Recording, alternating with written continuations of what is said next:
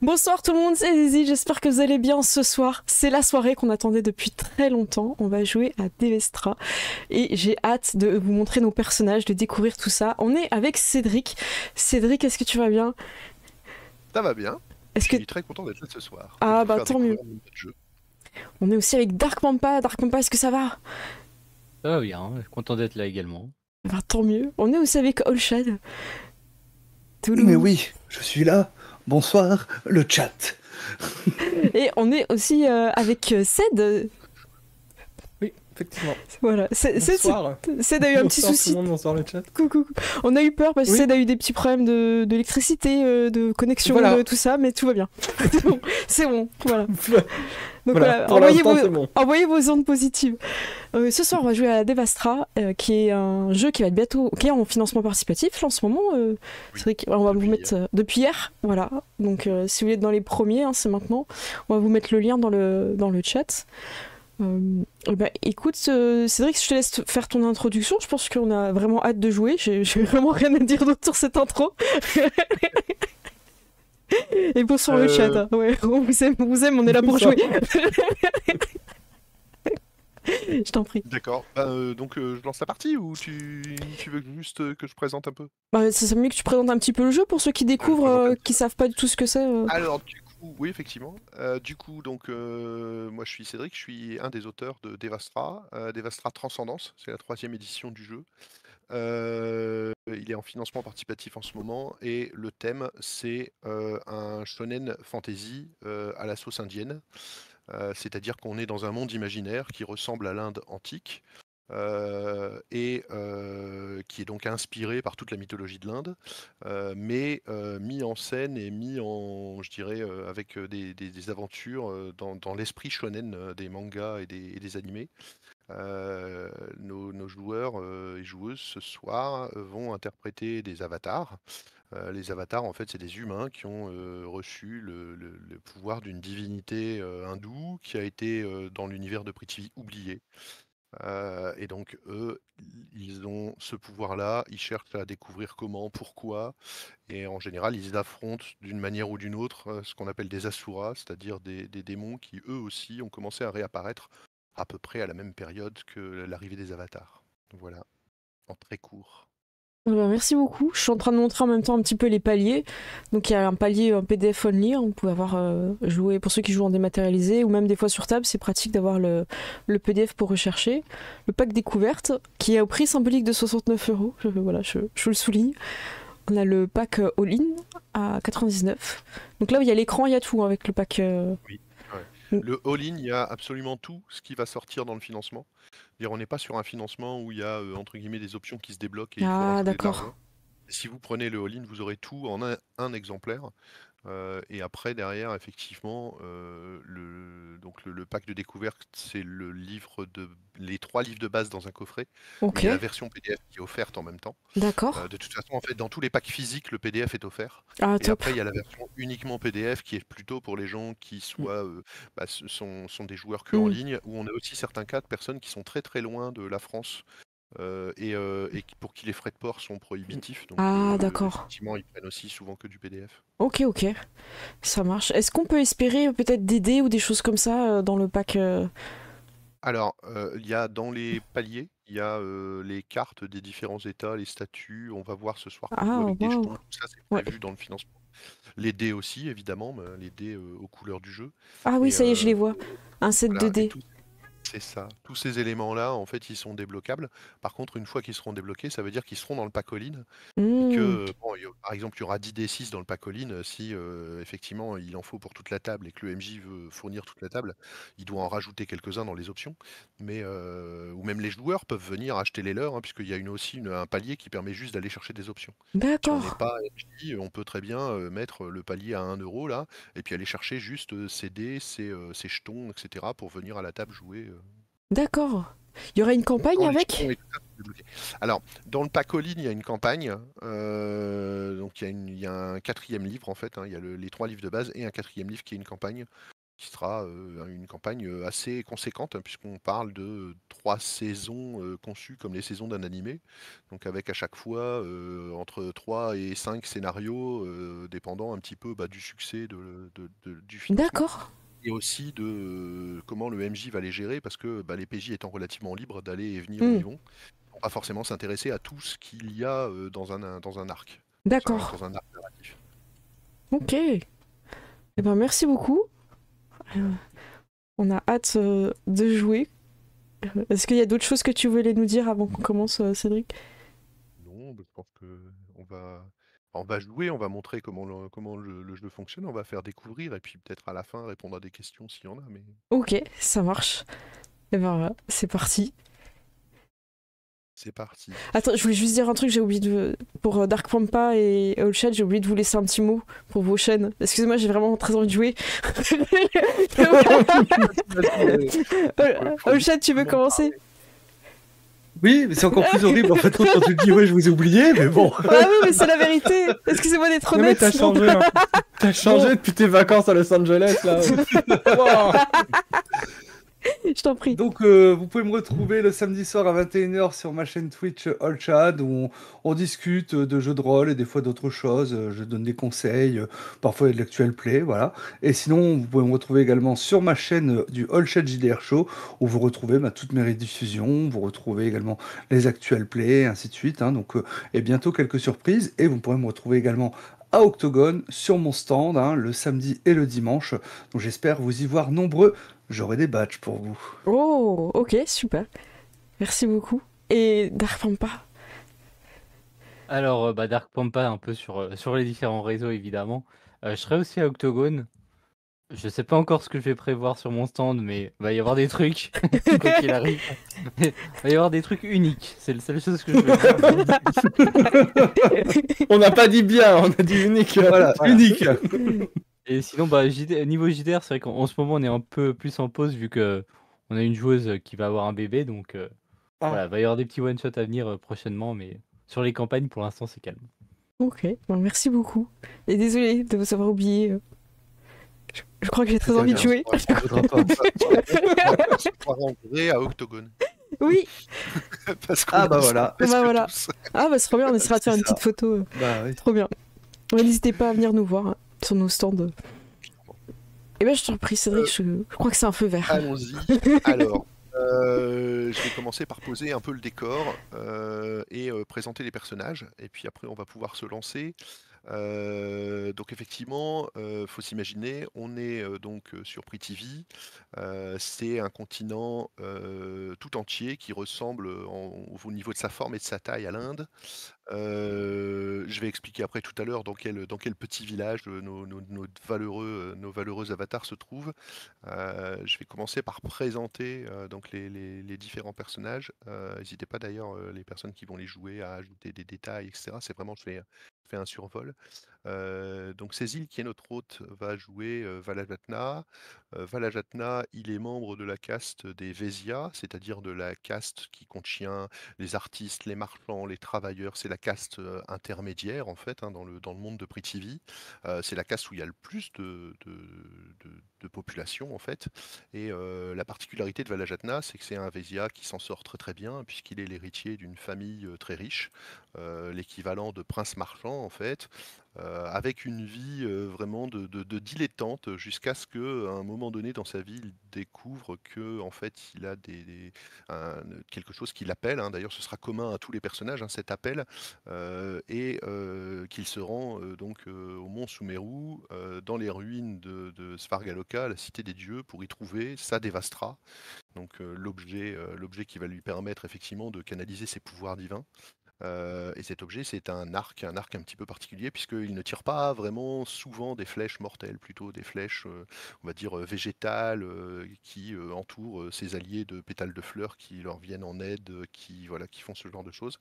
Euh, donc voilà, Jatna qui est un personnage qui, euh, aime, euh, qui aime bien vivre et qui est euh, l'incarnation de Kama, hein, le, dieu de la, le dieu de l'amour, euh, de l'amitié, de la paix. euh, donc euh, un, un personnage euh, qui, voilà, qui est très, euh, très coloré.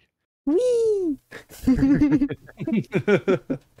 Ensuite, on a Seïd qui joue euh, Shankar. Alors, Shankar, lui, c'est un euh, membre. Alors, Valajatna était euh, membre d'une nation qui est Pulkala, qui est une nation qui est plutôt. euh, c'est la nation dans laquelle le scénario va se dérouler.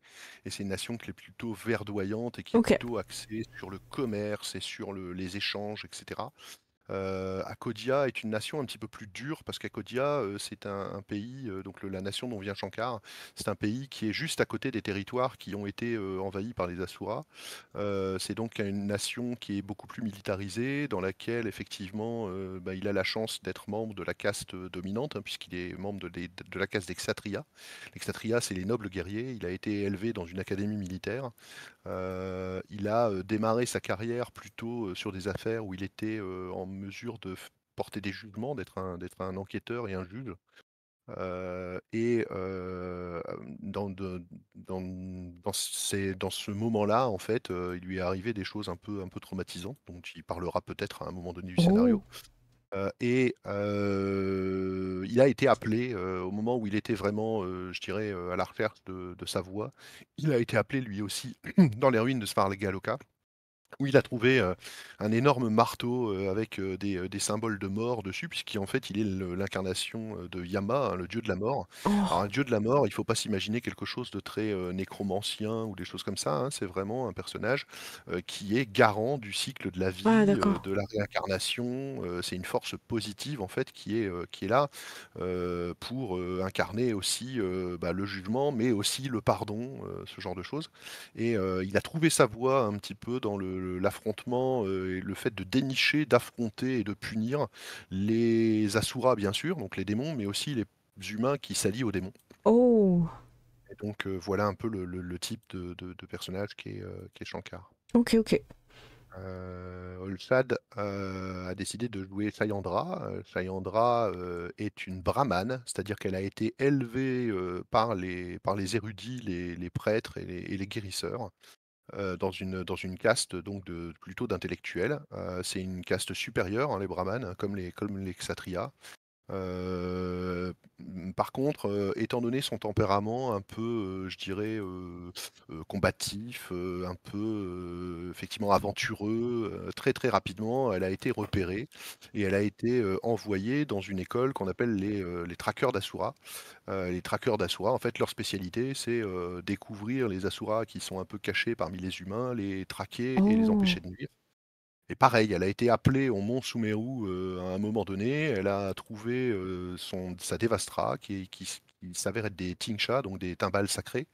Euh, évidemment, elle est capable de- de- d'utiliser des mantras et des mandalas, donc des- des- l'équivalent des sorts en fait dans Devastra. Et en plus, maintenant, elle a ses pouvoirs qui lui viennent de sa déesse, euh, dont elle est la réincarnation, qui est Chandra, la déesse de la lune et des mystères révélés. Oh, ok. Trop bien. Voilà. Et puis il nous reste euh, Dark Pampa, Dark Pampa qui incarne Padma. Euh, Padma, elle vient de la caste des Sudras, les intouchables. hein. Elle a grandi euh, parmi des artistes itinérants qui, allaient de ville en ville pour donner un peu de réconfort aux personnes qui sont dans cette caste un petit peu mal aimée hein, de la société de Prithvi. Euh, et euh, effectivement, elle a elle aussi euh, reçu, ressenti l'appel. Et quand elle s'est rendue au mont Sumeru, elle a découvert qu'elle était la réincarnation de Kali. Et elle a trouvé une double dague hein, qui peut se séparer en deux dagues différentes, qui lui donne effectivement des pouvoirs sur les ombres et sur le, fait de se dissimuler et de, là aussi de, de- des, des- des poisons particuliers qui n'affectent que les personnes qui, sont commises, qui ont commis des crimes. Euh, et euh, et euh, du coup, euh, il faut comprendre que normalement dans la, dans la religion, entre guillemets, la spiritualité euh, de, de, de- de Devastra, du, du monde de Devastra, euh, normalement les Sudras, c'est plutôt effectivement des gens qui ont été punis hein, par, le, par le destin, hein, puisqu'ils sont nés dans une, dans une caste inférieure. Et là, elle, elle s'est révélée un avatar, et donc elle a quelque part un petit peu commencé à douter un peu de, tout ça. Et Mm. une de ses motivations, c'est le fait de se dire euh, peut-être qu'en fait, s'il y a aussi des avatars parmi les Sudras, c'est que les Sudras sont pas si mauvais que ça et que la Mm. société devrait évoluer pour les considérer différemment. Euh, voilà. En substance, on a l'ensemble des personnages. Vous avez euh, donc eu l'occasion de vous croiser alors que vous étiez à la recherche de votre, euh, bah, de votre Dévastra et de vous entraider pour euh, effectivement, euh, parce que le, mont Sumeru c'est un lieu dangereux hein, dans lequel il y a des démons qui rôdent, parce qu'en fait les démons ont bien compris que les avatars allaient là pour trouver leur pouvoir et donc ils se mettent aux alentours pour essayer de tuer les avatars avant qu'ils deviennent ce qu'ils vont devenir. Hmm. Donc du coup, vous vous êtes entraidés à ce moment-là. C'est vraiment quelque chose qu'il faut que vous compreniez, c'est que vous vous connaissez, vous avez voyagé un peu ensemble. Et d'ailleurs, euh, là, en fait, on va commencer le scénario au moment où vous faites une halte pendant un de vos voyages, en passant peut-être un petit peu sous silence le, enfin, disons, on va, on va mettre dans le flou le pourquoi, euh, pourquoi vous vous êtes rendu là. Vous étiez sur le chemin pour aller Mhm. ailleurs, en fait. Euh, et euh, on va commencer sur cette halte. Et en fait, euh, vous avez déjà sauvé un village ensemble. Oh, Et pour des raisons qui sont diverses et variées, hein, parce que parce que vous êtes à la recherche de, de- de- de compréhension sur vos pouvoirs, parce que vous avez enfin trouvé des gens qui vous comprennent et qui sont un peu comme vous, ou pour toute autre raison, vous avez décidé de rester ensemble quelque temps. D'accord. donc euh, c'est un petit peu le, ce qui va ce qui va faire que le- la démonstration fonctionne, c'est que vous restiez un petit peu en groupe et que vous vous entraidiez. Euh, voilà. Euh, voilà, je ne sais pas si vous avez des choses à ajouter, des éléments, si vous voulez faire. euh, Tu parlais peut-être de montrer, je ne sais pas si on, on peut voir les, les illustrations. Oui, j'ai montré tout, à, tout le long que tu as expliqué, tout le monde a pu voir les personnages. Donc ils ont, ils vont pu voir, je suis raccord avec mon personnage au niveau de la, la chevelure, c'est bon, c'est validé. Voilà, j'ai montré un petit peu les fiches aussi. Souci d'accord. capillaire, il n'y a pas de. Ah non. Moi j'ai confondu. Hein. Ah oui, moi j'ai vérifié que j'étais bien sur le stream. Ah ouais. oui. C'est ça. Ah, je suis RP là, c'est bon. Écoute, on fait une Alors, je petite si- halte pour manger, du coup on est posé. euh, C'est ça, je vais, vous, dire. En fait, vous êtes euh, donc au, au niveau de, l'endroit où vous êtes dans Prithvi, hein, vous êtes euh, à mi-chemin entre euh, le mont Sumeru et la capitale en fait de Pushkala, hein, qui est le royaume, on va dire, le royaume prospère, hein, puisque les deux autres royaumes le sont un peu moins. Il est connu pour être, pour être une terre très accueillante, très verdoyante, très prospère, où ses marchands vivent bien, etc. Donc vous êtes sur la route en fait pour aller du mont Sumeru à la capitale. Et dans un, dans un petit village, en fait, hein, donc, qui s'appelle Sanjirvan. Donc Sanjirvan est un village, entre guillemets, tout à fait, tout à fait anonyme hein, pour vous, hein, une étape comme une autre. Vous vous êtes arrêté dans, une, dans un temple, en fait. Il faut savoir qu'à Prithvi, euh, il n'y a pas vraiment d'auberge euh, comme on peut trouver dans des, dans des univers un peu euh, Medfan. Euh, c'est c'est pas très courant, on va dire. Euh, on trouve plutôt des établissements où on peut dormir et où on Mm. peut boire et manger euh, de, de ce type-là dans les grandes villes. Mais le long des routes, on a souvent euh, dans les proches des proches des villages ou à des, à des points d'étape ce qu'on appelle des dharmashalas. hein. C'est en fait c'est des temples. euh, alors je le redis, hein, sur Prithvi, les dieux ont été oubliés il y a longtemps. Et donc, en fait, il n'y a pas vraiment de religion au sens euh, avec des divinités. hein. Vous, vous savez que vous êtes les réincarnations de divinités, mais personne ne vous croit parce que tout le Mm. monde a oublié en fait ce que c'était.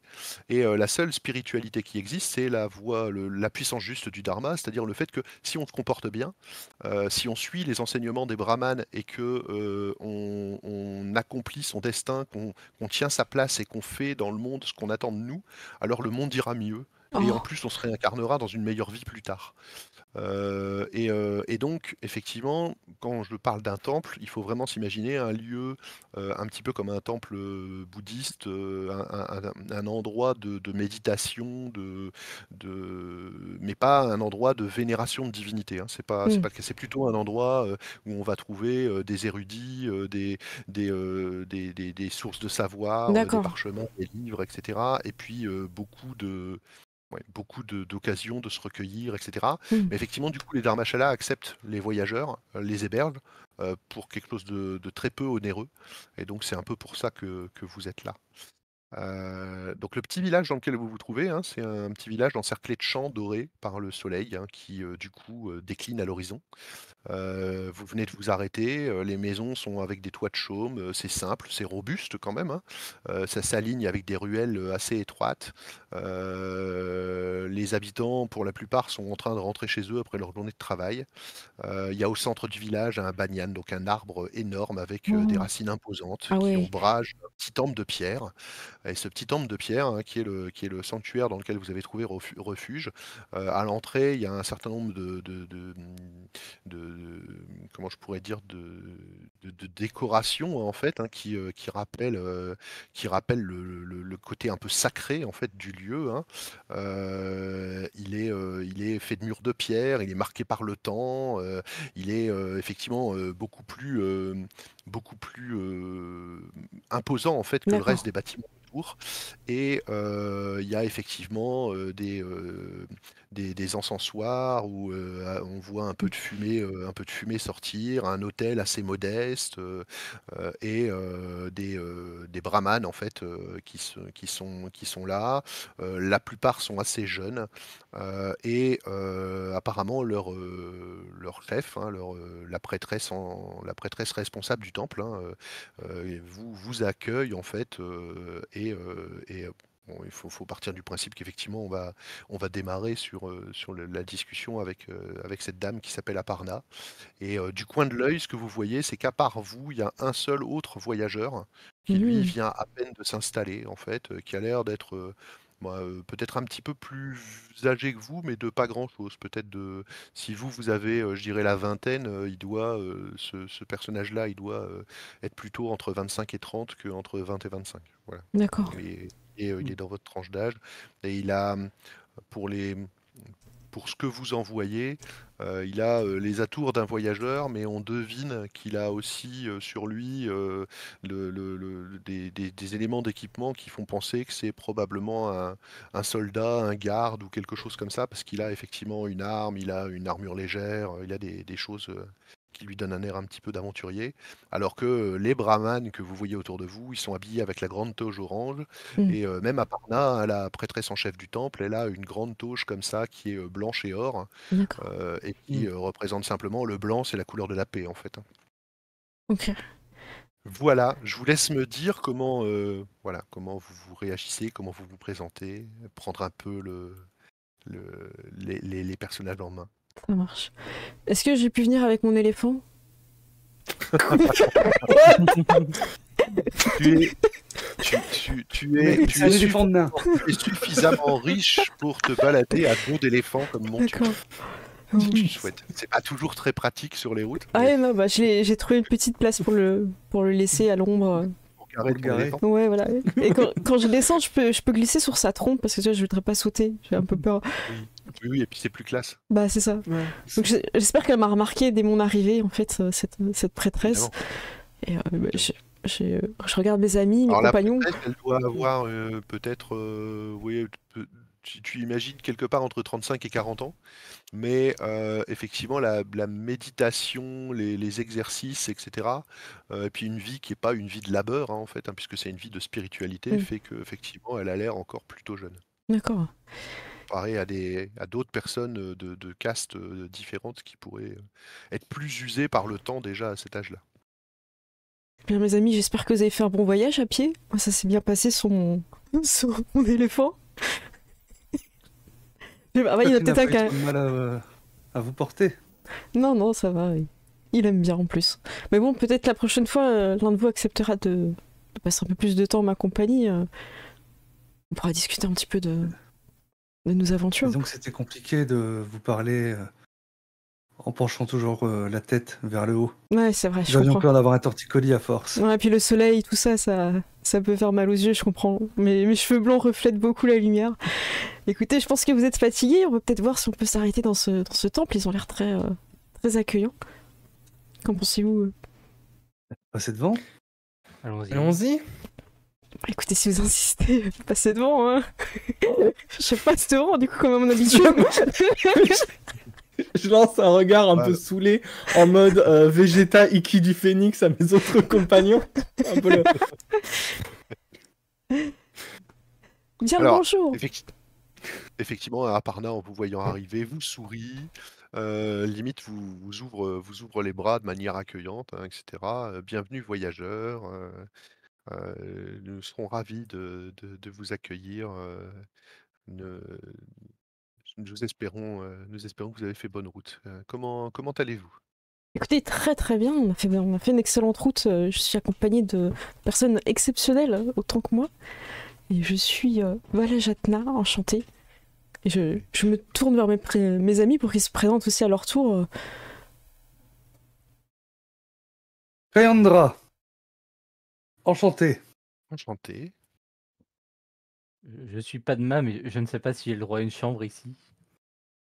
Si, si, nous accueillons absolument tout le monde, euh, dit-elle euh, avec, un, avec un petit sourire.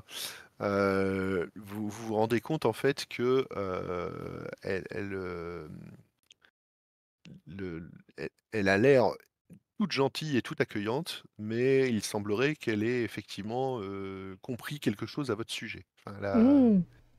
Euh, un petit sourire en coin, elle est, euh, elle est très, euh, très, gentille. Néanmoins, dans sa petite phrase d'accueil, elle vous dit Vous verrez que notre, village est un endroit particulièrement paisible et, que vous, avec, votre, voyage, vous aurez l'occasion de vous y reposer et d'y trouver la sérénité. Et, euh, Moi, c'est Shankar. Et euh, je croise les bras et je plisse un peu les yeux. euh. Euh, pareil, elle a, elle a conscience en fait de. Visiblement, elle a conscience de à quel caste tu appartiens et tu vois qu'elle te fait un petit, un petit signe de tête très, très révérencieux, très, très euh, en, en accord avec le, en accord avec le protocole qui t'est dû en fait. Il est tellement dark. Ouais, c'est complètement- Je viens de Je voir parlais- comme ça, tu sais, je suis un peu ça. dans l'ombre alors que tout est lumineux. Je suis comme ça dans l'ombre. un en plus avec ton énorme marteau là sur l'épaule. Eh ben alors Alors, effectivement, hein, ce, que, ce que vous comprenez euh, assez, euh, assez aisément, c'est que euh, elle a bien compris, étant donné le- le- les, les objets que vous transportez, Mhm. le- la, la nature de ce que vous êtes. Euh, vous soupçonnez d'ailleurs que c'est pour ça qu'elle traite euh, effectivement Padma sur un pied d'égalité avec tout le monde. Euh, et effectivement, elle vous, elle vous convie à rentrer, donc elle, elle- elle, elle vous laisse rentrer.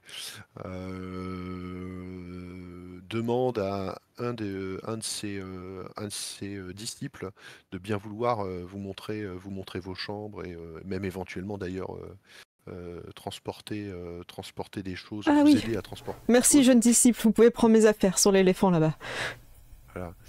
Euh, et euh, effectivement, du coup, c'est un petit peu à ce moment-là, hein, comme je vous avais dit, Mm. euh, vous aviez remarqué qu'une autre personne était en train de s'installer tranquillement.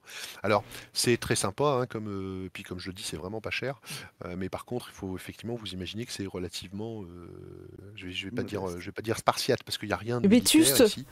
Mais c'est bah, Ouais. vétuste, peut-être pas parce que ça voudrait dire que c'est mal entretenu. C'est Mm. bien entretenu, mais c'est simple en fait. D'accord. C'est-à-dire qu'effectivement, c'est C'est pas minimaliste. c'est au contraire de Minimaliste. Minimaliste. Voilà. voilà. On risque pas de se perdre, hein, c'est pas... pas plus mal. Ah, c'est relativement grand, mais effectivement, Ah. c'est relativement vide. Ah, tout se ressemble. Tiens, est-ce que vous- Voilà. est-ce qu'on partagerait pas un repas avec cette personne là-bas qui, qui semble seule? Après tout, on aura peut-être l'occasion de discuter un petit peu. Pourquoi pas, pourquoi pas. euh, J'aurais eu envie de me rafraîchir un peu avant. Enfin, Certains d'entre nous ont du marché. mais écoutez, euh, je pense que vous avez raison. Et allons nous, nous rafraîchir et retrouvons-nous pour un, pour un repas avec ce, cet inconnu mystérieux. Très bien. Donc effectivement, euh, vous avez l'occasion de vous rafraîchir. La la la la la.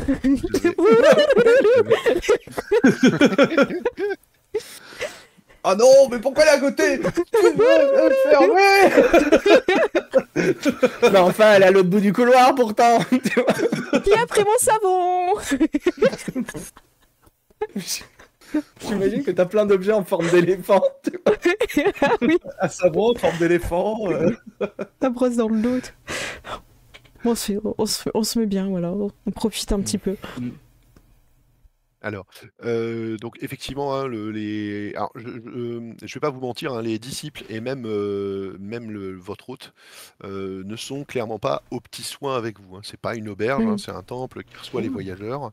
Et donc effectivement, sorti du fait qu'ils vous ont permis de rentrer, qu'ils vont vous nourrir et qu'ils vont vous loger, ils vous laissent vraiment vaquer à vos occupations et, et, euh, et- et vous vous rendez compte en fait que c'est quand même un lieu qui euh, est euh, effectivement très vaste, euh, très beau, mais à la fois très simple et assez vide, Mhm. en dehors effectivement des objets qui ont un intérêt spirituel.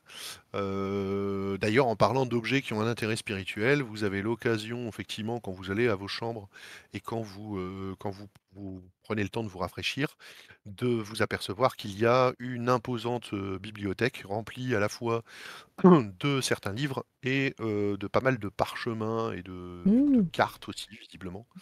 Euh, tout ça étant bien entendu, euh, bon, pour l'instant en tout cas, un endroit dans lequel vous n'avez pas été invité à vous balader, mais euh, on vous a pas non plus explicitement dit que vous n'aviez pas le droit d'y aller.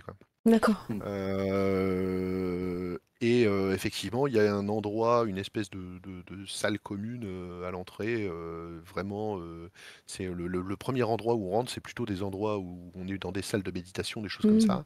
Mais il y a sur le côté, le long d'une espèce d'aile en fait hein, de, de l'endroit, vraiment le- le- la partie euh, cadre de vie, hein, donc euh, dans lequel vous vous avez vos logements et puis les, les disciples aussi. Et, euh, et le- la- une des premières pièces hein, de, de cette partie du bâtiment, c'est une, euh, c'est une salle euh, entre guillemets commune de vie euh, où on Mm. Peut s'installer et où donc est installé le seul autre invité, hein, puisque effectivement, euh, si je compare avec une auberge, c'est comme s'il y avait un seul autre client à part vous. L'attraction pour moi. Alors. Clairement, pour les disciples, pour les disciples, vous êtes une sorte d'attraction. Euh, alors, ils ont l'air d'avoir l'habitude de voir des, de voir des voyageurs, mais visiblement, il commence déjà à y avoir des petites rumeurs à votre sujet sur le fait que euh, vous êtes équipé Ah. d'objets étranges et que peut-être que, en fait, euh, Comme éléphant. euh, voilà. Euh, bon, l'éléphant, euh, l'éléphant, ça veut juste dire qu'il y a Mm. quelqu'un parmi vous qui est très riche. Euh, et euh, ce qui n'est pas forcément étonnant, parce qu'effectivement, euh, Mhm. globalement, en plus, euh, Shankar, c'est pareil, il est très noble, il est peut-être pas forcément très riche. Enfin, en tout cas, pas parce qu'on est dans le plus haut degré de noblesse qu'on Mm. est pour autant euh, aussi, euh, comment je pourrais dire, aussi fortuné. Mm. Euh, Ouais. mais globalement, euh, globalement, effectivement, vous avez l'air de gens importants.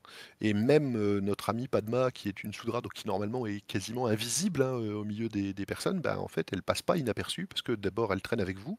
Et Mm. ensuite, elle aussi, elle porte un objet bizarre. Donc, Mm. euh, a quelqu'un qui est un peu attentif. Euh, étant donné que certains d'entre vous portent les objets de manière ostensible ou n'ont pas le choix, parce que c'est un gros marteau, euh, bah effectivement, après les autres, du coup, font attention d'essayer de repérer si vous avez sur vous euh, quelque chose de spécial. D'accord. Euh, voilà, voilà. Donc, effectivement, une fois que vous vous êtes rafraîchi, petit à petit, un par un, Mm. vous allez euh, probablement vous retrouver dans la salle commune à prendre ça. Un Mm. repas, une boisson, quelque chose, en fait. Mm. Oui. Ça va, Oui, vous êtes bien reposé euh, Ça vous a fait du bien Vous avez bien frotté Vous n'avez pas eu besoin d'aide Tant que faire se peut. On sait jamais, hein, pose la question. pire les questions. Je sais jamais, écoutez, on sait jamais.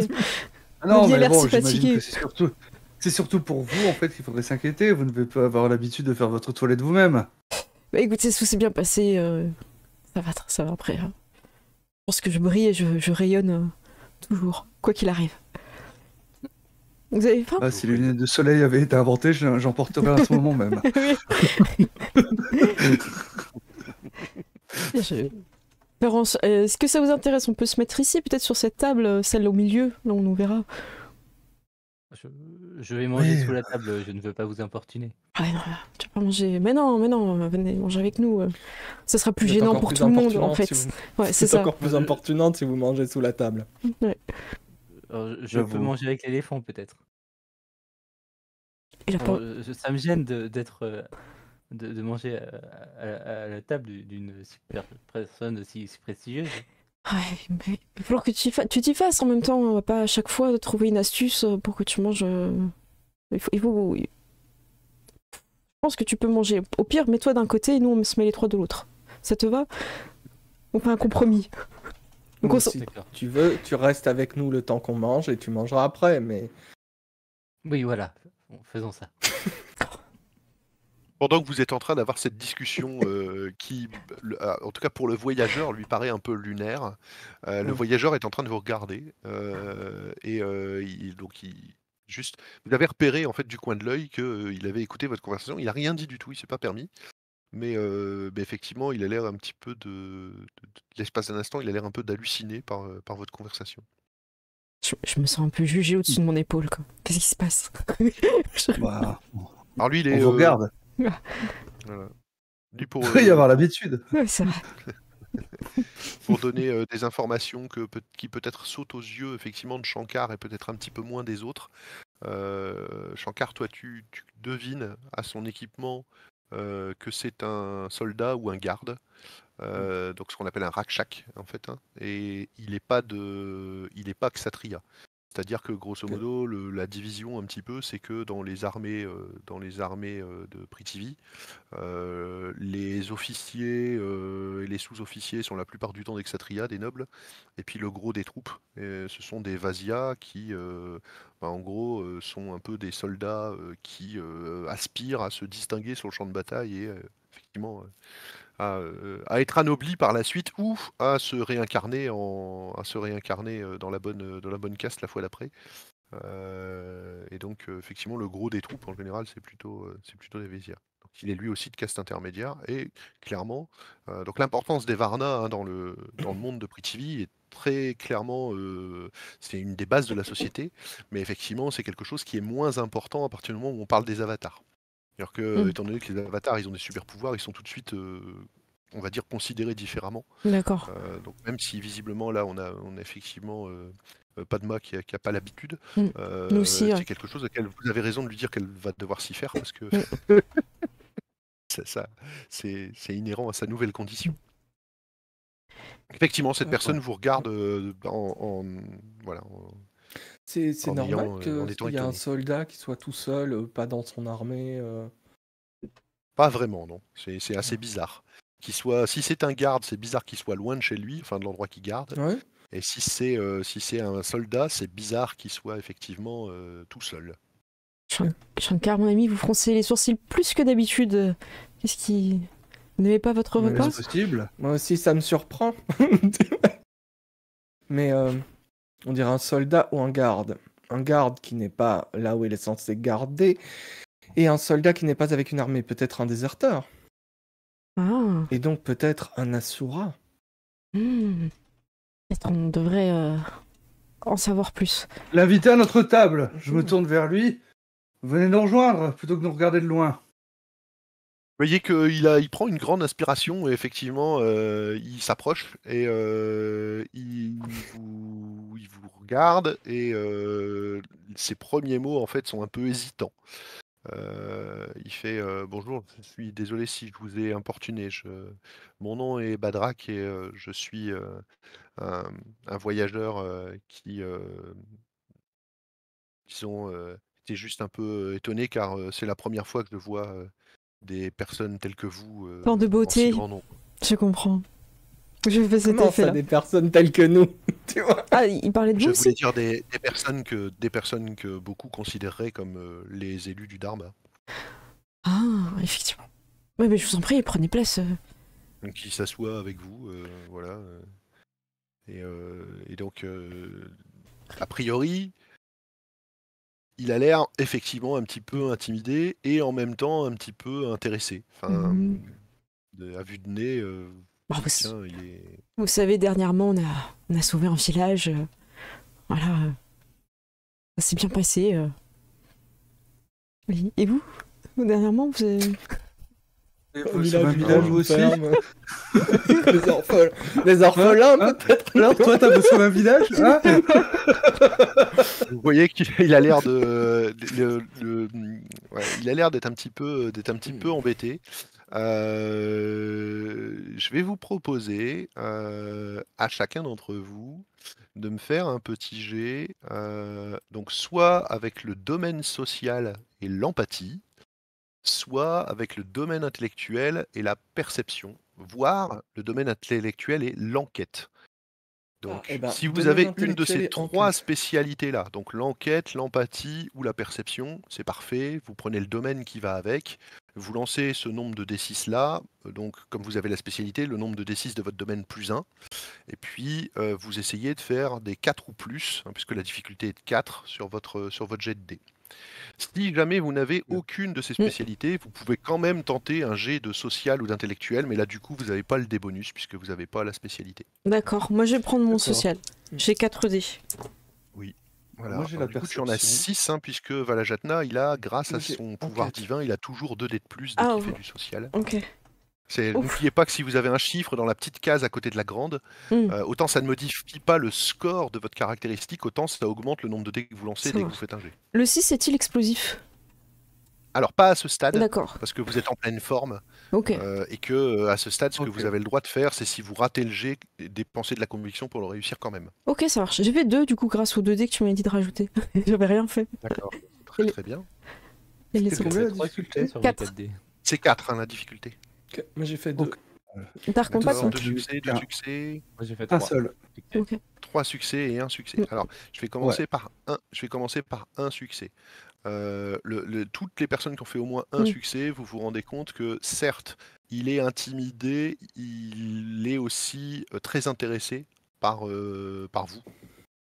Euh, donc ça c'est un succès. Vous vous rendez compte qu'effectivement il, a beau avoir ce côté un peu intimidé, il est, euh, est curieux et, et voilà.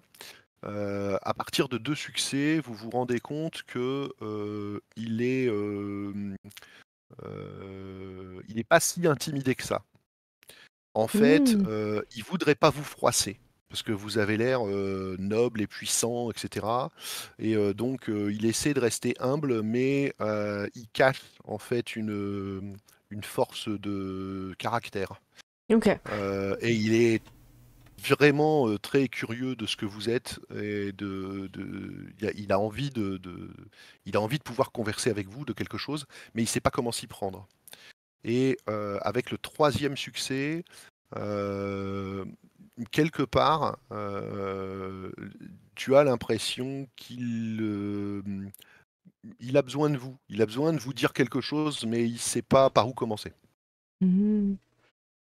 Voilà. Et ça, c'est vraiment, c'est du. J'ai fait faire des jets de dés parce que c'est très difficile à faire en jeu de rôle autrement, puisque euh, c'est du langage corporel en fait. Mhm. C'est-à-dire que c'est le- les, les petites mimiques pendant qu'il prend le repas avec vous, les, les petites, euh, les, les petites attitudes qu'il va avoir, euh, et puis vous, ben, euh, vos yeux plus ou moins aguerris sur le fait de comprendre la nature humaine en fait. Très bien.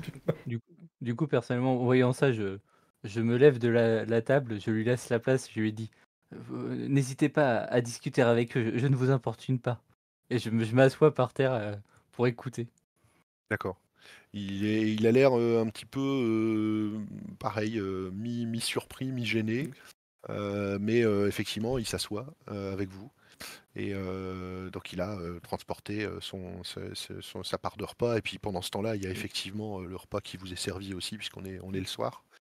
Et, euh, et, effectivement, il se tourne vers vous et il fait Mon histoire est compliquée. Je ne voudrais pas vous ennuyer avec les, les, les soucis qui m'assaillent et que j'ai probablement mérités. Semblez tourmenté, c'est c'est dommage, vous n'avez pas profité de votre repas et vous êtes sûr de ne pas vouloir partager. En général, on se sent mieux après. euh. On a une... D'accord. plutôt bon pour Euh, écouter, vous savez. Effectivement. Euh, bon là, je vais partir du principe. hein, effectivement, je l'aurais pu demander un G pour le convaincre ou des choses comme ça. Euh, il s'avère que dans le dans, dans le dans le système de Devastra, on a aussi la possibilité de regarder la difficulté vis-à-vis de la, on va dire la, la- la puissance de feu d'un personnage. C'est vrai que Valajatna, il est particulièrement fort en social. Et donc, euh, avec le, le- le score qu'il a aujourd'hui en social, euh, sa capacité à négocier, etc., euh, il est certain que au calme, pendant le repas, en prenant les choses tout doucement, etc., euh, tu vas réussir en fait à le, à le convaincre de parler. Il a clairement dès le départ l'air préoccupé. Ça, tu t'en Mhm. rends compte. Et euh, ce qu'il te dit, c'est il te dit, euh, je pense tout simplement que je suis maudit et que le sort s'acharne contre moi. Oh C'est pourquoi je me suis éloigné de toutes les personnes à qui je pourrais causer des problèmes. Oh waouh Euh, Je me- Je me pousse un petit peu quand il dit ça, du coup. euh, je suis pas très à l'aise avec ce qu'il dit. je sais pas si c'était vers moi, mais je fais des petits, des petits mouvements. à chaque fois, je me, je prends mon assiette et Com- comment ça Vous avez des, vous avez eu des preuves, enfin des choses qui se sont passées, des, des exemples? Disons que hum, j'ai perdu beaucoup de compagnons et que je pense que le, le Dharma euh, m'impose une épreuve euh, et euh, j'ai, je n'ai pas hâte de voir quelle sera la prochaine étape de ce parcours particulièrement amer. Plus ça va, par contre, dire plus il se détend. Hein, plus ça va, plus il se détend. Euh, quand tu dis euh, qu'est-ce qui vous fait dire que, je- vous êtes maudit, euh, il se tourne vers toi, vers toi, vraiment du coup, et il fait, comme je vous l'ai dit, j'ai perdu de nombreux compagnons et j'ai tendance à, disons que les endroits où je passe ont tendance à avoir des ennuis et vous, sentez qu'effectivement il a l'air il a l'air un peu méfiant euh, au début, euh, pas trop savoir comment aborder les choses. Et euh, c'est à peu près le moment en fait où vous êtes interrompu. Euh, Il y a beaucoup de bruit à l'entrée de- de- du, de- du temple. Et visiblement, vous entendez la voix de Aparna et la voix d'une autre personne qui a l'air d'être un homme en train de discuter. euh, alors, au loin, vous vous rendez compte que il y a des, les, les paroles qui sont prononcées sont un peu paniquées euh, ou un petit peu graves. Et euh, ce qui, comment je pourrais dire, ce qui vient rajouter encore à la scène, à la, à la congru- l'incongruité de la scène, c'est le fait que Badrak a l'air de euh, lever les yeux au ciel comme si euh, globalement S'y attendait il s'y quoi. attendait quoi.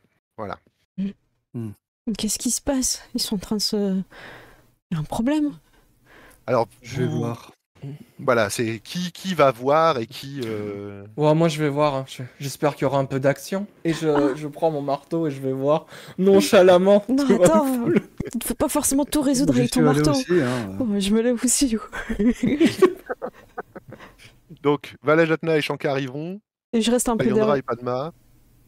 Vous restez avec euh, votre invité ou, ou Non, vous Ah non, moi j'ai dit que j'y allais. Hein. euh. D'accord, tu y En, vas aussi. restant euh, accroupi un peu euh, pour pas trop me faire remarquer. Enfin, pas dans les couloirs maintenant. Passé inaperçu. Euh, alors l'avantage de Padma, c'est que effectivement, à partir du moment où elle traîne pas avec vous en tant que effectivement Soudra, elle passe très vite inaperçue. C'est-à-dire les gens ont pris Mm. l'habitude de pas trop regarder les intouchables. Et donc du coup, en fait, euh, c'est une- le- les, ce sont les rois de la discrétion. C'est pour ça d'ailleurs qu'il y a Mm. beaucoup d'espions qui sont des, des Soudras. Euh, donc ce que vous entendez en fait, c'est vous voyez trois personnes qui discutent dans l'entrée du, temple. Aparna, évidemment, hein, donc la, grande prêtresse, la grande brahmane dont vous avez, qui vous a accueilli. Un homme assez vieux, barbu et habillé richement pour quelqu'un qui vient du village. Euh, donc rien à voir avec euh, Ouais. le, le côté extrêmement Mm. euh, riche de Valajatna, mais quand même on sent que c'est quelqu'un qui fait partie de la caste des Vésia, mais la caste des Vésia qui a des sous. Euh, Mm. Et à côté, un jeune homme d'une vingtaine d'années qui a l'air d'être clairement habillé comme un garde. Et là, par contre, un garde de la du village. Mm. Euh, vous comprenez assez rapidement que la personne qui est en face d'Aparna est le chef du village. Mm. Euh, étant donné qu'elle l'appelle par son prénom, vous comprenez qu'il s'appelle Druva, et que visiblement la personne qui est derrière lui doit être, vous imaginez, un garde qui a vu quelque chose, ou peut-être même le chef Mm. des gardes. Vous ne savez pas trop. Oh. Toujours est-il que euh, Druva est en train de dire à Aparna, le- il y a une créature à l'entrée du village avec euh, des... Il a l'air d'hésiter et il fait euh, des, des- des- monstres, euh, des petits monstres, et euh, ils sont... euh, ils se sont plantés là et ils nous ont dit qu'ils cherchaient quelqu'un. Oh. Et là, Aparna euh, la le- regarde le chef euh, en lui disant euh, Bien, il va, falloir, il va falloir leur parler, je, je- je vais t'accompagner. Et donc. Moi je vais avec- partir en courant pour les précéder. D'accord, ok. Je- Ce dont tu t'aperçois en les précédents, c'est qu'il y a euh, une créature effectivement relativement imposante qui se trouve à l'entrée du village. Euh, cette créature relativement imposante, tu n'as aucun doute sur le fait que euh, c'est un Asura, parce que c'est une créature. Alors je vous, ai- je vous mets une petite, euh, je vous mets une petite illustration là sur. Ok, le- je vais vous montrer dans le live. voilà. Hein, euh, Ok. Donc c'est le, c'est la créature qui se trouve là. Bon, euh, à la différence près que euh, effectivement, euh, euh, elle, euh, il lui, en fait là, elle est dessinée Oula. avec euh, Mm. avec ses six bras et en fait là, euh, il lui manque, euh, il lui manque un bras. Enfin, il y a un bras qui a été Oh. sectionné. Ok. Ok. Et euh, donc c'est une créature comme ça. Alors il est euh, euh, vraiment, euh, il n'y a aucun doute sur le fait que c'est un démon. Euh, il est entouré de créatures euh, qui sont euh, des, des espèces de petites créatures démoniaques elles aussi, mais plutôt animales, euh, qui vont euh, être à mi-chemin entre euh, des, des, des félins, des lézards, des choses comme ça, donc des, des créatures de la taille, ça va de la taille d'un chat à la taille d'un chien pas trop gros en fait. Euh, Mm. il en a peut-être une petite cinquantaine avec lui. Ils sont bien en retrait et lui il est devant en train de parler aux gardes. Et euh, donc le- les gardes du village, faut vous imaginer qu'en tout et pour tout, les villageois, ils doivent avoir euh, peut-être allez, euh, 4-5 euh, 4-5 personnes en, en armes dans tout le village, hein, parce que c'est pas Mhm. voilà, besoin de se défendre euh, contre autre chose que quelques bandits. Et ben on fait appel euh, aux ksatria euh, de, de la caserne la plus proche. hein, donc euh, c'est c'est clairement pas euh, voilà, c'est c'est clairement pas une armée. Et euh, en phase 2, ils ont effectivement des créatures qui sont des créatures euh, qu'on appelle l'engeance, hein, c'est-à-dire le, le- vraiment la, le, le tout venant des Asuras, euh, le gros de la horde, euh, et puis un seul très gros, euh, un seul très gros, très gros démon. Et ce très gros démon, il est en train de dire aux gardes, vous devez nous livrer Ish- Ishvara, ou bien nous détruirons ce village. Si Oh, vous nous livrez Ishvara, nous partirons avec lui sans vous créer de dommages. Et les gardes, en fait, pour l'instant, tout ce qu'ils arrivent à répondre en bredouillant, c'est qu'ils sont partis chercher le chef et que euh, le chef va, leur- va lui répondre. Bah. Du coup, quand j'arrive, hein, je vais écarter deux gardes pour euh, passer en fait. hein. Alors, qu'est-ce qui se passe ici? Je cherche du grabuge. Alors, euh, la créature euh, sursaute un peu en te voyant arriver avec, euh, avec ton, ton, ton- ton arme au poing. Et il, te, il te regarde et il fait rien, rien qui ne concerne une personne telle que vous. Je suis venu chercher quelqu'un et je repartirai avec lui. Soit on me le livre et j'épargne ce village, soit vous refusez et j'ordonne à mes hordes de tout détruire ici jusqu'à ce que je le retrouve. Alors déjà, c'est pas à toi de décider de qui je m'intéresse ou pas. Et au vu de ta nature, t'as absolument rien à me demander.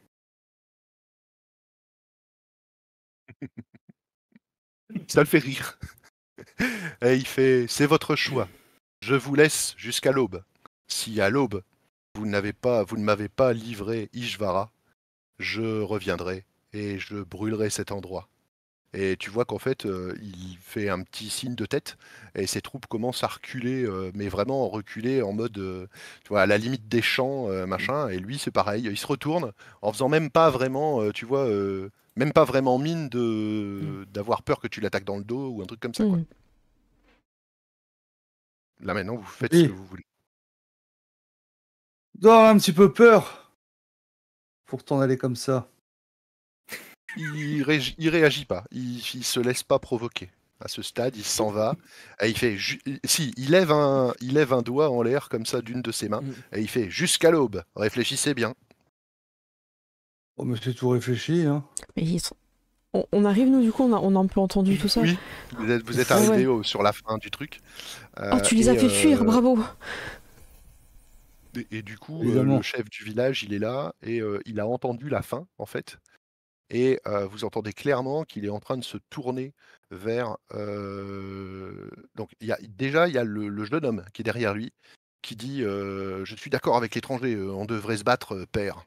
C'est ça qu'il dit à- au chef. Et le chef fait euh, Tu es fou, mon fils, euh, on ne fait pas du tout le poids, euh, je ne sais pas ce que, ce que vont faire ces étrangers, mais euh, euh, après tout, c'est Aparna et moi et le reste du conseil qui décidons de, de ce qu'on va faire. Et il se tourne vers la prêtresse. Je fais un petit pas de placement entre, entre Ouais. la. Et à la ouais. prêtresse, il lui dit, à la prêtresse, il lui dit, ce démon a proposé de s'en aller. Si nous lui livrions, euh, je ne sais pas qui, euh, il suffit de trouver qui est cette personne et euh, lui livrer, et on, on sera tranquille. Et Aparna fait, euh, vous vous rendez compte que vous êtes en train de proposer de sacrifier quelqu'un euh, C'est quand Et même, de euh, pacter avec un démon c'est c'est quand même quelque chose qui est indigne de votre, de votre rang. Drouva, je vous invite à y réfléchir encore. et comme vous le dites, euh, le conseil du village devra statuer, et même si votre avis nous est précieux ici, euh, vous, comprendrez que une telle décision devrait même euh, être remontée. euh, on n'a pas le temps de remonter ça à, notre grosso modo à notre seigneur, quoi. Donc il dit à notre Rajkumar, hein, donc au prince qui nous gère. Il fait, il fait, il- a dit jusqu'à l'aube. Donc nous devons décider cette nuit. Et là-dessus, Aparna dit, mais on ne sait même pas ce qu'il est vraiment venu chercher. Et là, vous entendez Badrak, qui est sorti lui aussi, hein, qui vous a, qui vous a rejoint, mais beaucoup plus tard, qui fait, euh, c'est moi qui le cherche. Et euh, vous savez pourquoi il vous cherche? Je pense que il euh, dévore les gens comme moi. Et ça les rend plus forts Comme après allait Les soldats? faire. Mhm. J'ai pas entendu, Il- désolé. là, je- Ils dévorent plusieurs les gens comme vous, les soldats? Non, euh, les personnes qui, comme moi, ont reçu une malédiction. Mais en fait, si on vous démaudit, il n'y a plus de problème. On- on le bute, il n'y a plus Je- de problème. Mais, Pas à vous, hein, Non, pas non, vous non, non. aussi. Ah oui, aussi, oui. oui, oui. Je, je- je Mm. je ne sais pas. Euh, avant de vous rencontrer, pour moi, il n'y avait pas de solution. Mais peut-être que maintenant que. Tu vois, qu'il baisse la tête et il fait un petit peu, euh, tu vois, genre. euh, euh, comme euh, comme quelqu'un qui est un peu.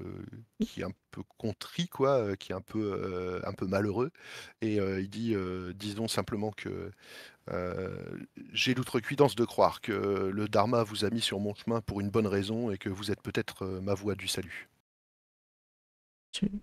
Évidemment. On ne le laissera pas faire. Hors de question qu'un Ashura puisse faire ce qu'il veut ici. Je suis d'accord. C'est une très mauvaise idée de faire un pacte avec les Ashura. Il y en a qui ont essayé, ils ont eu des problèmes. Principalement avec moi. Oh oui. Bon Il n'a que 5 bras en plus. C'est un de Oui, moins que d'habitude. bras au lieu de 6, oui. C'est un de moins que d'habitude. Voilà.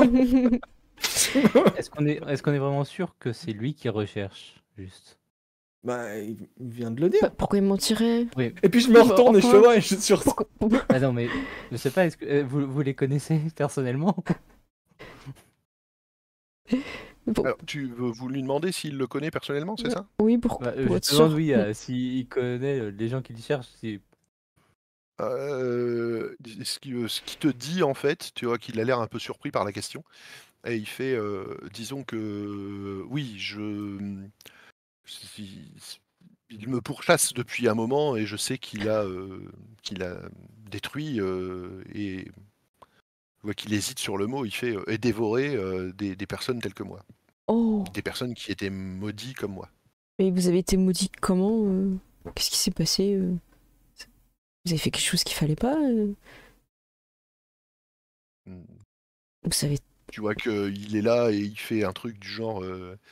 J'ai- un peu honte d'en parler, mais euh, disons que je me suis écarté. euh, je me suis malheureusement écarté de, de la voie du Dharma. euh, Mmh et je n'ai peut-être pas. Il, fait vraiment le mec euh, attristé quoi et repenti quoi. euh, mais euh, mais vous voyez qu'en fait quelque part il y a un il y a un petit bout de il y a un petit bout de lui qui résiste encore à l'idée de, de- de ce qu'il est en train de dire. Et il dit peut-être qu'en fait le jour où mes compagnons ont été tués, je n'aurais pas dû survivre.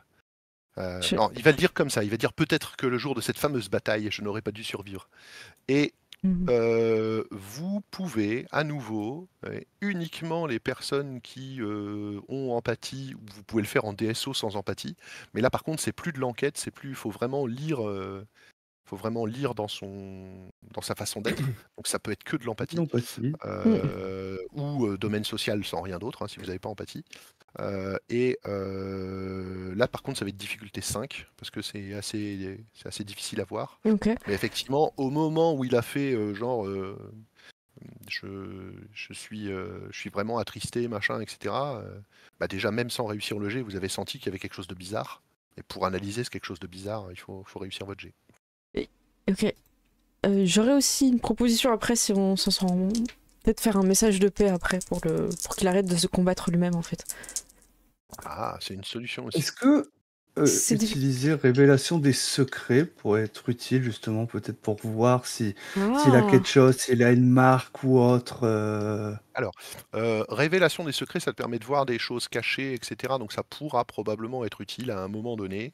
Et ça D'accord. peut t'aider même à réussir des jets euh, de- de- de- d'enquête ou des choses comme ça. Euh, par contre, tu as quelque chose qui te permet de voir s'il a une marque. Parce que Hmm. tu as, Oui, si tu le regardes dans mantra. tes- Si ton, man- voilà, ton mantra te permet de voir le- la marque Adharma, donc te permet de voir Ouais, si les personnes sont des Hmm. asuras, Ah, techniquement. ok. d'accord. Euh, moi j'ai fait 4 succès, c'était 4 la difficulté, hein, c'est ça? Des 5. Ah, 5, attends, j'enlève euh, J'ai deux fait un succès du coup. Deux succès quand même? Il y a Mm. d'autres personnes qui ont des succès sur ce jet-là Euh, un. Non. Est-ce que abîme de l'âme, ça permettrait Ah. pas de voir euh, Oui, de voir ça ça? par contre, tout à fait. Ah, c'est dark. En fait, il y a le l'abîme de l'âme, ça permet de voir s'il a effectivement, euh, s'il est, euh, s'il se sent coupable de certaines choses, etc. Et euh, effectivement, le mantra, il va permettre de savoir si c'est un asura ou pas. Et le message de paix, ça pourrait baisser sa garde Alors, le- pour... Ouais, le message de paix, effectivement, ce que ça pourrait faire, effectivement, c'est l'affecter de manière le... à le faire changer d'avis. Et si, Parce que là, euh, il se combat lui-même en typiquement fait. quelque chose qui Mm. sert, voilà, c'est typiquement quelque chose qui sert à faire, à faire baisser la combativité des, des personnes, quoi. Ok. Moi, je vais déjà voir ce que tu nous dis avec le jet, pour... puis on te dira ce qu'on ce qu'on C'est fait après. Je veux juste savoir si, du coup, les deux autres en même temps, ils ont fait ou pas le- la marque. Alors Ah moi oui. je Ah, moi je vais faire sentir la marque euh, de Dharma, ouais.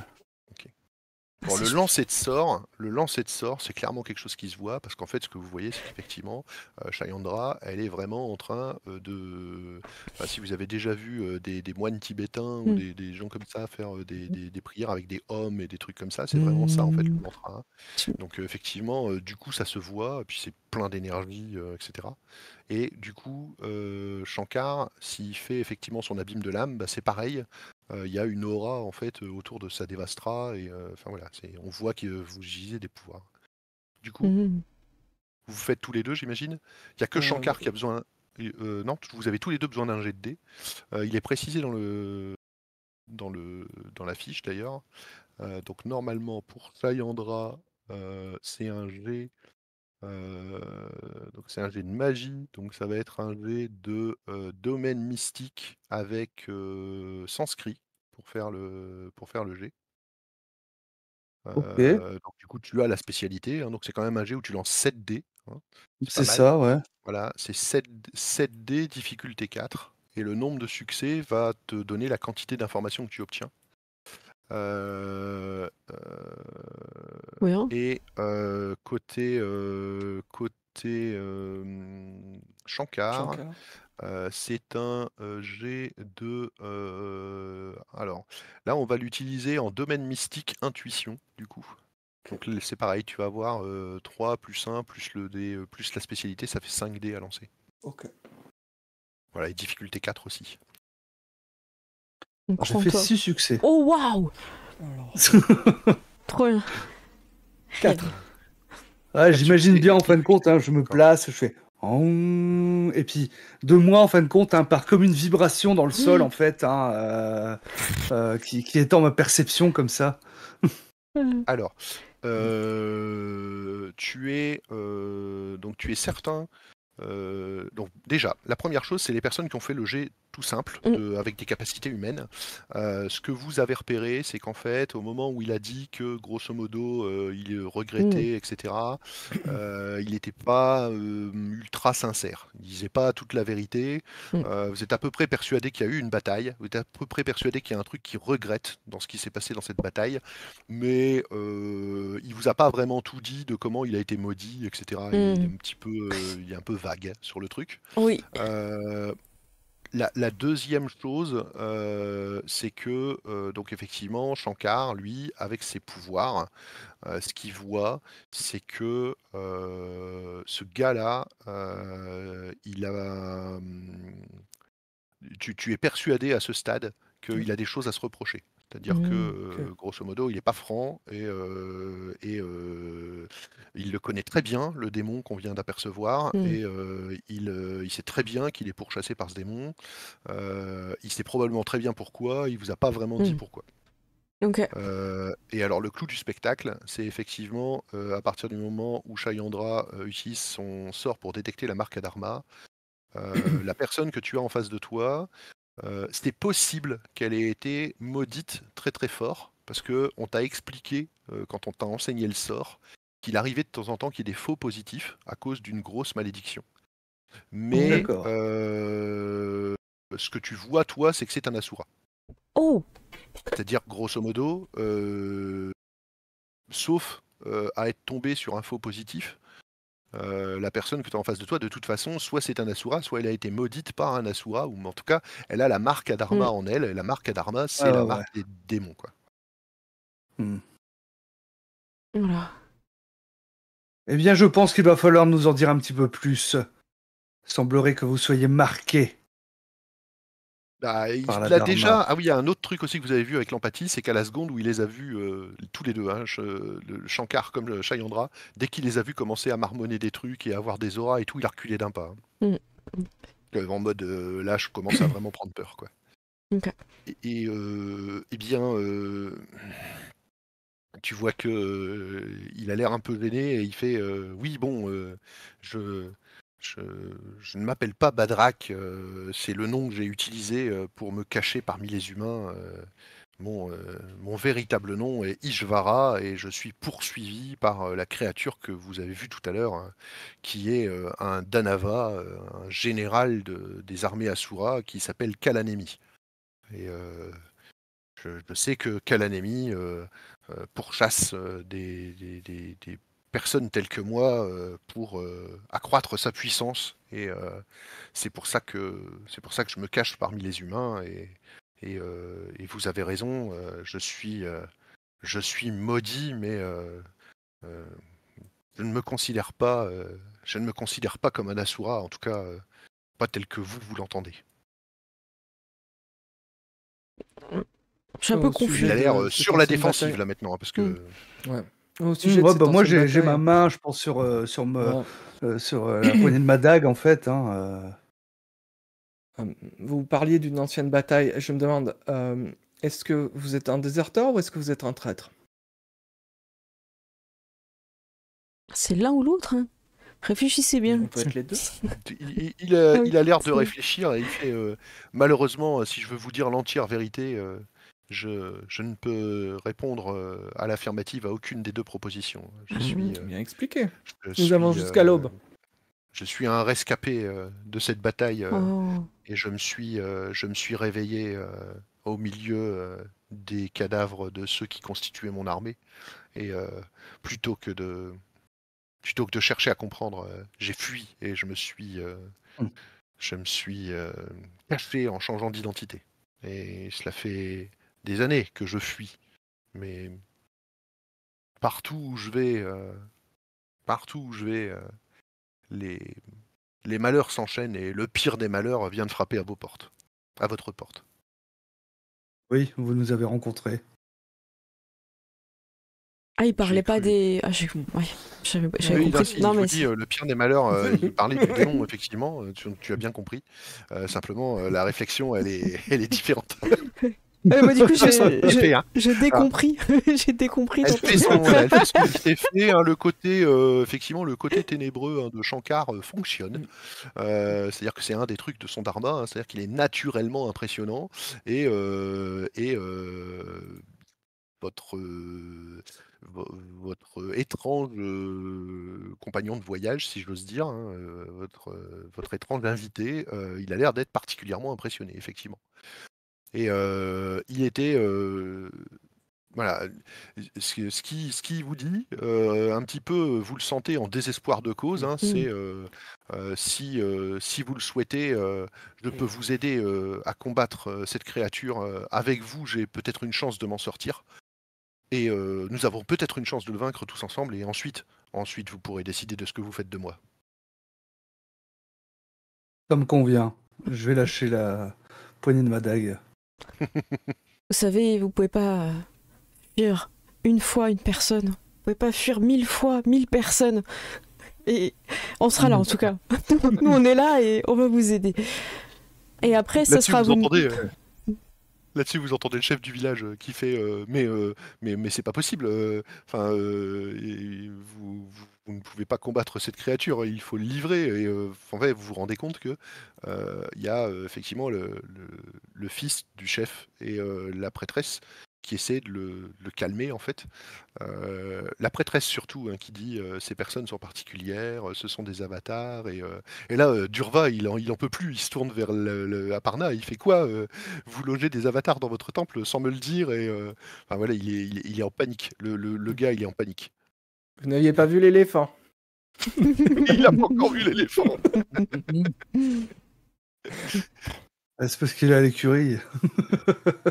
Et, écoutez, euh, on est là pour vous aider, que ce soit aussi bien les, les habitants de ce village et euh, ce voyageur non innocent. Mais euh, en tout cas, on va vous aider.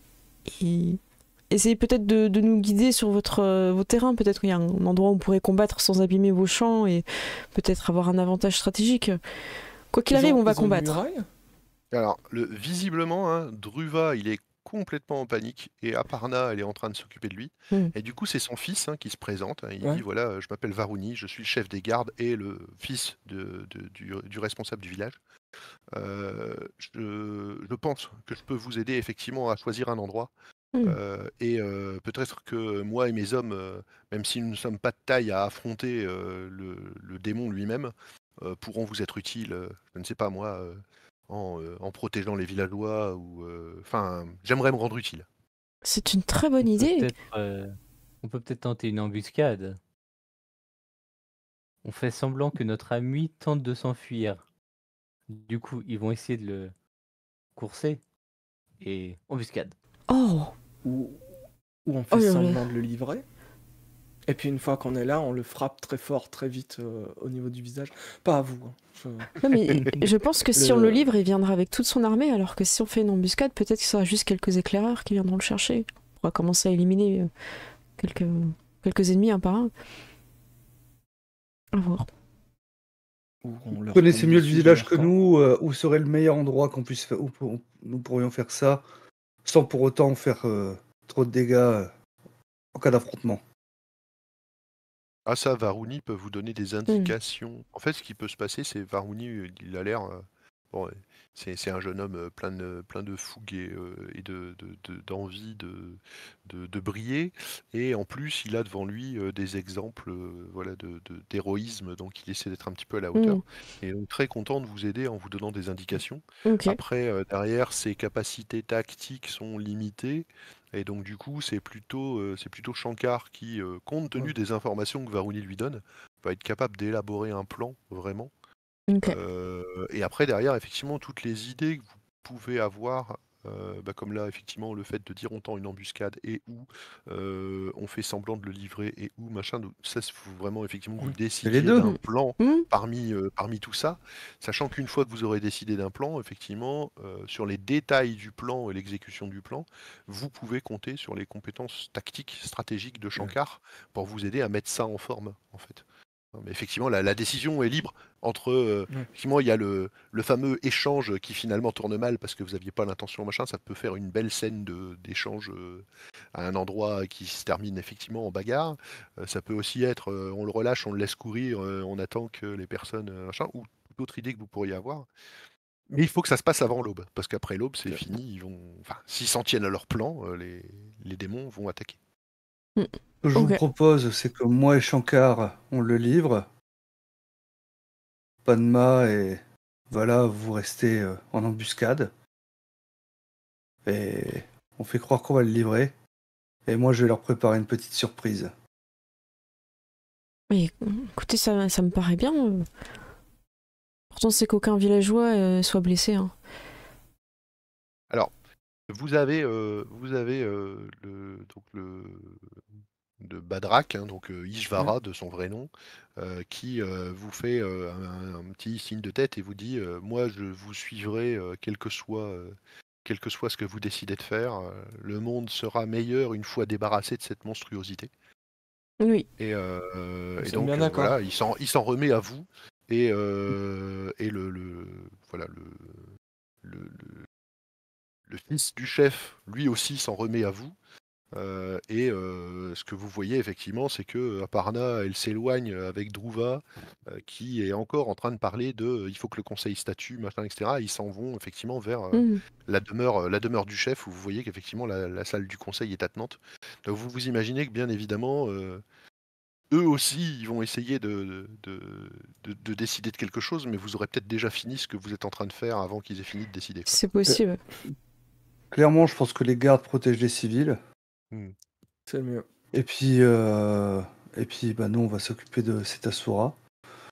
Et euh, à la rigueur, on va repérer les lieux. Et puis, au moment où on repère les lieux, on va voir commencer à exécuter une, une espèce de danse, en fait, hein, pieds nus, et euh, dessiner des signes, en fait, hein, sur le sol. Et donc, je vais préparer euh, mon mandala qui blesse les démons. Oh. C'est une bonne idée. Voilà. Voilà. Le tout, c'est de bien le placer. Et Ok. euh, effectivement, ça peut être un, un bon. euh, donc, c'est un, c'est un mandala qui, effectivement, piège les démons qui, euh, qui le traversent. Donc, euh, souvent, euh, souvent euh, On le quand cache avec vous des êtes comme ça feuilles. sur un côté un peu embuscade, etc., que vous avez le temps de vous préparer, Mm. c'est très utile. Trop bien. Alors, euh, c'est aussi un jet de. euh, donc, le, en gros, on va partir du principe qu'à un moment donné, Shankar euh, étudie votre proposition Mm. et euh, vraiment euh, va placer les choses sur la carte. Et donc, effectivement, il va lui aussi euh, pouvoir indiquer à Chandra c'est à cet endroit-là que tu dois faire ta danse pour, euh, pour que les, les démons soient piégés. En tout cas, Ouais. la première vague de démons soit piégée. Et donc, du coup, je vais demander à Shankar, donc un jet de, de- de domaine martial stratégie, hein, évidemment. Euh, difficulté 4, parce que euh, la difficulté n'est pas très grande vu qu'on vient de vous donner les informations sur le Ouais. village dont vous aviez besoin pour pouvoir l'élaborer correctement. Et euh, bah, du côté de Chayandra, je vais demander un jet du coup de domaine mystique avec sanskrit, puisque effectivement tu traces le mandala. Et euh, si tu regardes la description de ton sort, euh, donc c'est pareil, c'est difficulté 4 aussi, si tu regardes la, la- la description de ton sort, tu verras que plus tu auras de succès, plus les effets seront intéressants. Oh. Ouais, ouais, ouais. Alors, Les difficultés 4. Et si ça vous va, on peut faire la pause juste euh, après la Et juste après, on peut faire la pause. Ouais. On note ça et après on fait la... Ah, quelle réussite. Oh, trois succès de mon côté. D'accord. D'accord. Donc parfait. Euh, notez euh, quelque part les réussites que vous avez fait. On va s'en resservir. Euh, et puis bah, je vous propose de faire la pause et de revenir. euh. Ah, trop bien. Ça va être super. Eh ben, merci beaucoup pour cette première partie. On se retrouve dans 10 minutes à 40 pour la suite. Et euh, je sens que ça va être, ça va être sport. On attendait Ouais. ça depuis, depuis longtemps. Ben, merci beaucoup pour cette première partie. À tout de suite, on se retrouve dans 10 Merci. minutes. À toutes, À salut. tout de suite.